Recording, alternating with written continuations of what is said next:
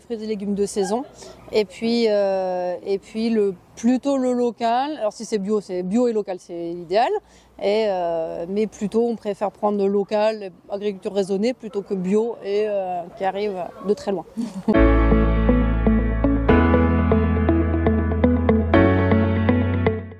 tout ce qui est fruits et légumes, on fait attention quand même de voilà que ce soit plutôt bio. Plus tout ce qui est euh, tout ce qui est muesli, flocons d'avoine, des choses comme ça. Là, ça, je, prends tout au, rayon bio. Euh, voilà tout ce qui est aussi euh, les, petites graines, vous savez, là, voilà tout ça aussi au rayon bio, pour les, les assaisonnements. Mais voilà, les fruits et légumes, c'est bio ou agriculture raisonnée.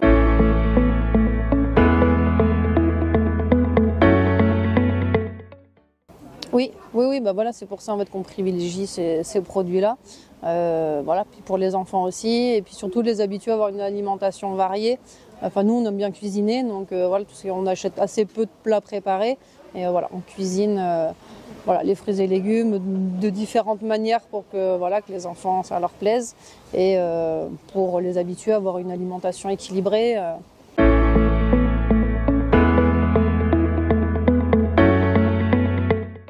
Je trouve qu'il faut se, lancer petit à petit, pas vouloir tout révolutionner d'un seul coup, mais euh, faire des petites choses.